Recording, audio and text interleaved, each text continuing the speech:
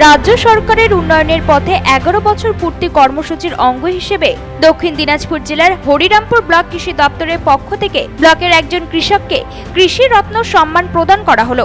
মঙ্গলবার এই কৃষি রত্ন প্রদান করেন হরিরামপুর ব্লক কৃষি দপ্তরের অধিকর্তা অমলেশ ঘোষ সহ হরিরামপুর ব্লকের বিডিও পূজা দেবনাথ।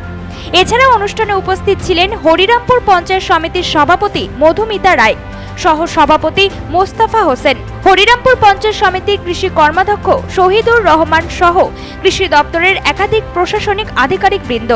এদিন হরিরামপুর ব্লকের গোকর্ণ গ্রাম পঞ্চায়েতের অন্তর্গত ঠাকুরপীর গ্রামের বাসিন্দা আমরান হোসেন নামক এক কৃষকের হাতে এই কৃষক রত্ন সম্মান তুলে দেওয়া হয়। এর পাশাপাশি ওই কৃষককে দশ হাজার টাকার একটি সাম্মানিক চেক তুলে দেওয়া হয়।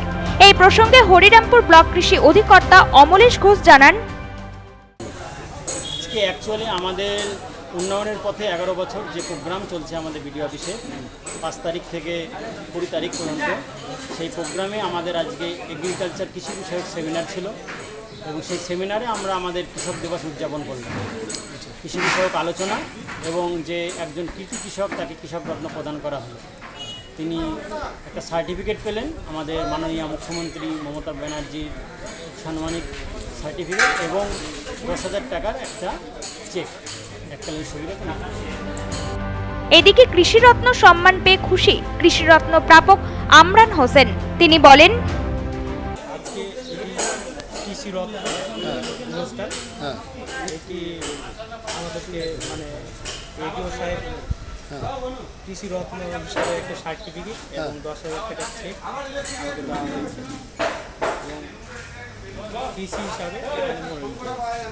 কৃষি আমরা সব রকমই চাষ করি। ধান, গম, পাট। এখন যেমন পাট আছে। এখন পাট চাষ করি। পাট এখন প্রায় এক মাসের উপরে বয়স হয়ে গেছে।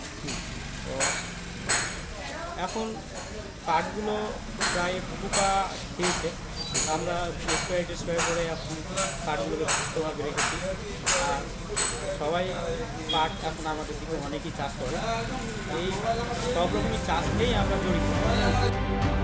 পাশাপাশি উত্তর দিনাজপুর জেলার নটি ব্লকের নয় জন কৃষককে তুলে দেওয়া হলো কৃষক রত্ন পুরস্কার। সেই সঙ্গে কৃষি পদ্ধতি, ফসল, জৈব সার ব্যবহার, মাটি পরীক্ষা সহ নানান বিষয় নিয়ে আলোচনা সভা অনুষ্ঠিত হয়।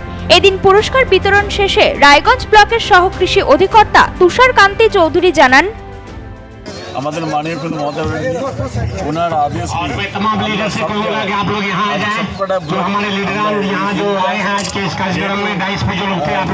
কোভিড ছিল তারপরে পরীক্ষা ছিল যার জন্য আমরা করতে পারিনি এখন আমরা এই দিনটাকে বেছে নিয়েছি এই দিনটাতে আমরা আজকে একটা কৃষক একটা ব্লক থেকে একটা রিওয়ার্ড ছোট্ট রিওয়ার্ড আমরা দিয়ে এটা স্টার্ট করেছি কৃষকদেরকে ট্রেনিং দেওয়ার জন্য আর এই কৃষকপ্রণ এলাকা এটা এই এলাকাতে কৃষকরা ট্রেনিং পালে, আমি আশাবাদী যে আমাদের কৃষি ভালো হবে, আমাদের যেটা আমরা প্রফেশনালি ধান, চাল, ভুট্টা এগুলো আমরা এ করি, এটাতে আমাদের ইনক্রিজ হবে।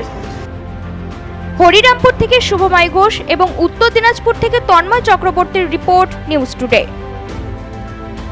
বিশিষ্ট শিক্ষাবিদ অসীম কুমার লাহার উদ্যোগে দক্ষিণ দিনাজপুর জেলায় এই প্রথম অত্যাধুনিক মানের বাংলা মাধ্যম বিদ্যালয় হিসেবে আত্মপ্রকাশ করল এএনপি রাজপুর পাবলিক স্কুল।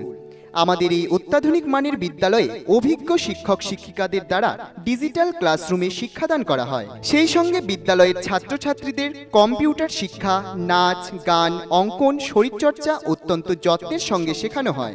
এর পাশাপাশি বিদ্যালয়ের ছাত্রছাত্রীদের জন্য মেডিকেল চেক স্কুল বাস, পরিশ্রুত পানীয় জল, গ্রন্থাগার এবং সিসিটিভি ক্যামেরারও ব্যবস্থা রয়েছে।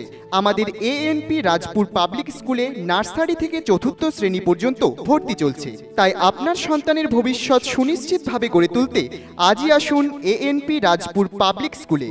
আমাদের ঠিকানা ANP Rajpur public school, Tapan থানা মোড়, দক্ষিণ দিনাজপুর। আমাদের মোবাইল নম্বর